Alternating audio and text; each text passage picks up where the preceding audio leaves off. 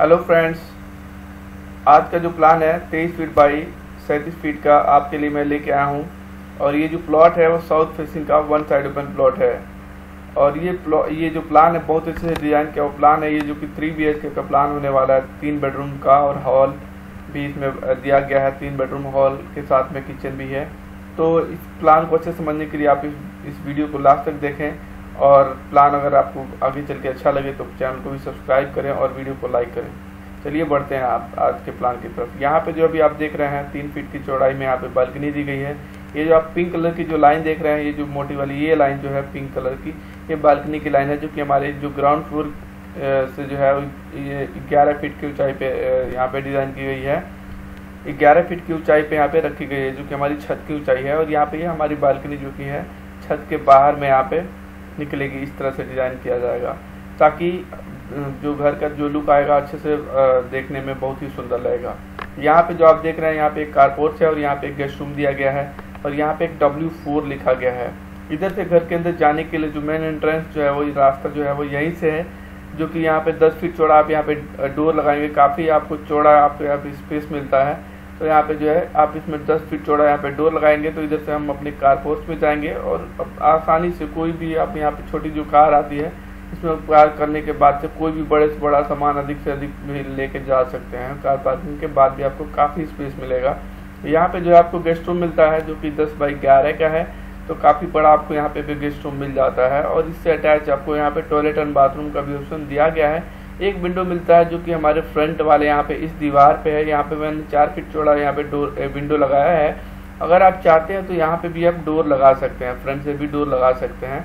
लेकिन मैंने यहाँ पे एक ही डोर यहाँ पे आपको दिखा रखा है ताकि आप अपने कार पार्किंग से होकर अपने गेस्ट रूम में जा सकते हैं। यहाँ पे एक विंडो है जो कि चार फीट चौड़ा यहाँ पे दिया गया है। चार बाई चार का विंडो लगा सकते हैं या चार बाई पाँच का विंडो आप यहाँ पे लगा सकते हैं, जिससे हमारे इस गेस्ट रूम के अंदर उजाला रहेगा और फिर एयर का सर्कुलेशन अच्छे से होगा। तो यहाँ से जो है, इसमें अटैच टॉयलेट का जो ऑप्शन मिल जाता है यहाँ पे। आप देख रहे हैं यहाँ पे एक डी जो लिखा गया है, ये यहाँ पे भी एक डोर लगाएँगे आप, जो कि ढाई फीट चौड़ा है, यहाँ पे डोर लगाएँगे। और ये वाला जो डोर है, तीन फीट चौड़ा है।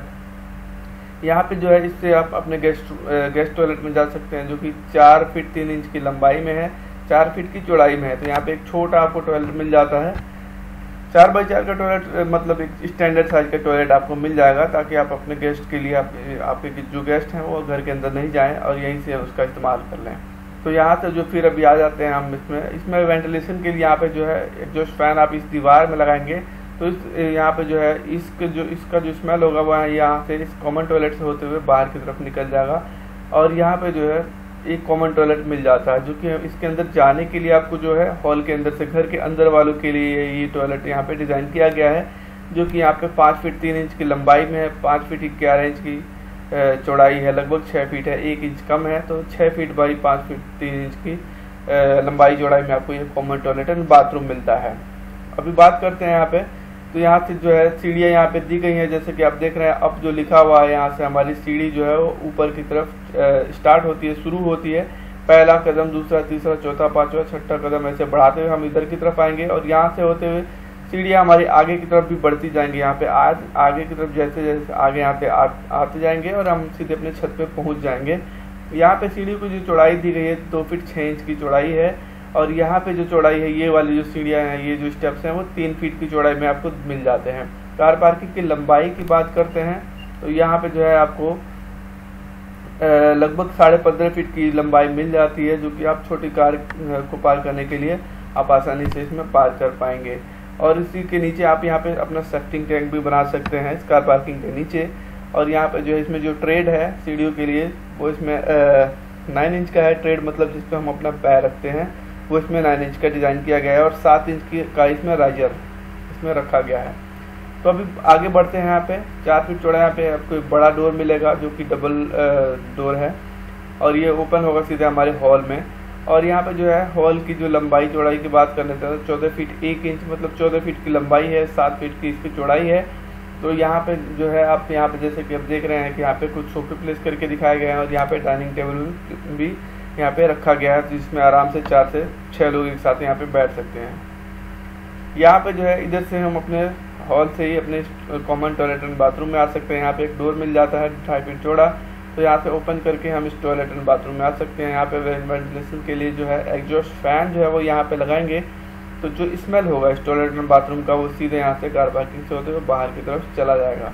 अभी बात कर लेते हैं किचन की। तो यहाँ पे आठ बाई सात का आपको किचन मिल जाता है। जैसे कि आप देख रहे हैं तो ये भी हॉल से ही इसके सामने सामने से यहाँ पे एक डोर मिल जाता है, ढाई फीट चौड़ा, और इधर से हम अपने इस किचन में आ सकते हैं। तो यहाँ पे जो है एक साफ़ दिया गया है, जो कि दो फीट बाई ढाई फीट का है, दो फीट इसकी लंबाई है इस डायरेक्शन में, और ढाई फीट चौड़ाई है इस डायरेक्शन में। तो यहाँ पे जो है आपको एक विंडो मिलेगा डब्ल्यू टू जो कि ढाई फीट जो है आपको यहाँ पे जो इसमें जो साफ्ट है, यहाँ पे भी दीवार आएगी और यहाँ पे भी दीवार आएगी, और दीवार में आपको यहाँ पे ये जो विंडो है, वो लगने पड़ेंगे, लगाने पड़ेंगे।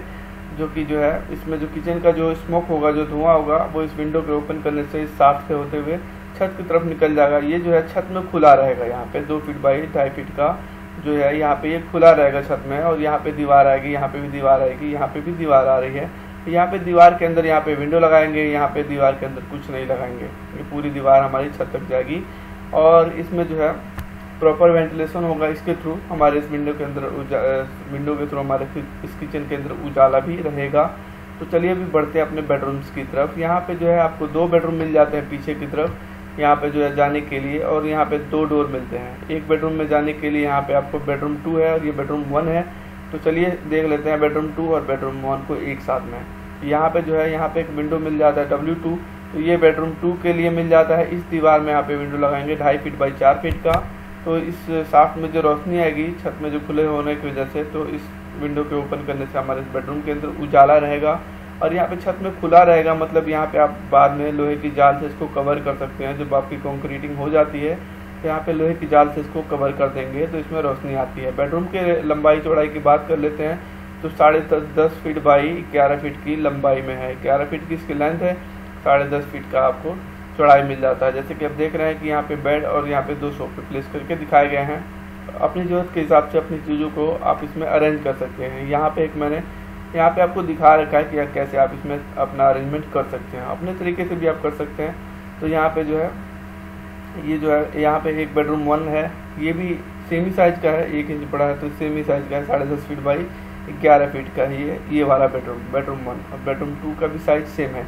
यहाँ पे बात करते हैं तो इस कमरे के लिए जो विंडो आपको मिलता है, यहाँ पे चार फीट चौड़ा आपको विंडो मिलता है, चार बाई चार का विंडो आप लगाएँगे इस दीवार में तो हॉल की तरफ़ से जो रोशनी आएगी, वो इस हमारे इस बेडरूम के अंदर जाएगी। हॉल की तरफ़ रोशनी इसके लिए आएगी कि यहाँ पे भी आपको एक विंडो मिलता है, जैसे कि सीढ़ियाँ हमारी शुरू होती हैं तो यहाँ पे जो है इस दीवार में आपको आप विंडो लगाएँगे तो बाहर से जो कार पार्किंग की तरफ़ से जो रोशनी आएगी वो इस विंडो से हमारे इस हॉल के अंदर उजाला रहेगा और इस हॉल में जो उजाला रहेगा, वो इस विंडो को ओपन करेंगे तो आपको इस बेडरूम के अंदर भी उजाला मिलेगा।